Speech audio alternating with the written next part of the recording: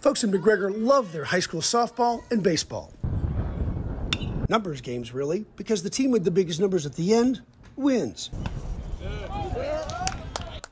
You might call McGregor a winner in the population game, as it hits a home run on growth and change, with people moving here almost every day. I grew up here, so I've been here all my life. You've seen a lot of change there. Uh, yeah, absolutely, it's growing. So it was a small town before, and now it's quite bigger. So yes, It's a big small town. yes, for sure. But Brandy Chandler says this big small town seems stuck in the batter's cage when it comes to housing. Few people counted on so many folks moving here all at once, leaving the town with a limited supply of housing and high demand. Like a pop fly or maybe a SpaceX rocket, property values headed for the sky or even farther. and individual properties will range anywhere from some will actually uh, will go down. Uh, I know there's some river riverfront properties that'll be decreasing in value, um, and some may actually get a 40% increase. 40%? Yes, sir. That's right. Some folks in McGregor will see their property appraisals go up by almost half. And even though governments often lower their taxes when values go up, a 40% jump usually suggests you better start saving up. What would that do to your budget? It would blow it. With the bases loaded, the McLennan County Appraisal District needed to hit its appraisals out of the park. According to our data, we are at 98%, 100% of market, and so we, usually we try to be just just under market, so give people a little bit of a break, but not not crazy. But in an audit, the state of Texas found when it comes to property appraisals in the McGregor School District, appraisers took a swing and a miss. Normally, the state comes in and matches, or, or pretty close.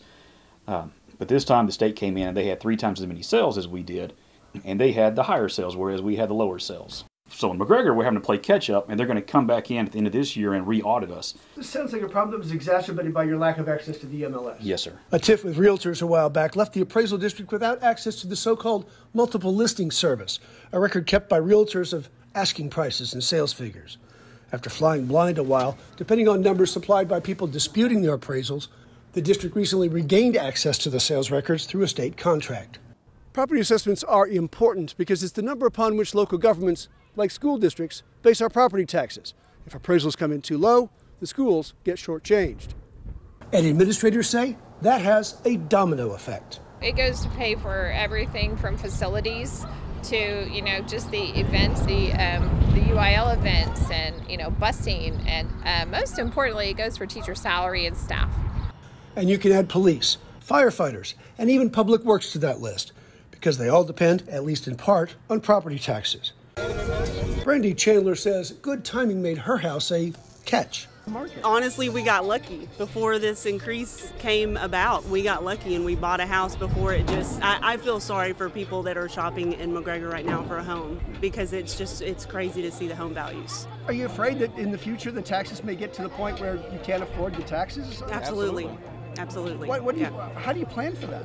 Well, you don't. And where do you go after that? Where do you go? Where indeed. Since this big change supposedly catches McGregor up on property values, folks here hope they can catch some breathing room before the ump calls another out. In McGregor, Dennis Turner, 25 News.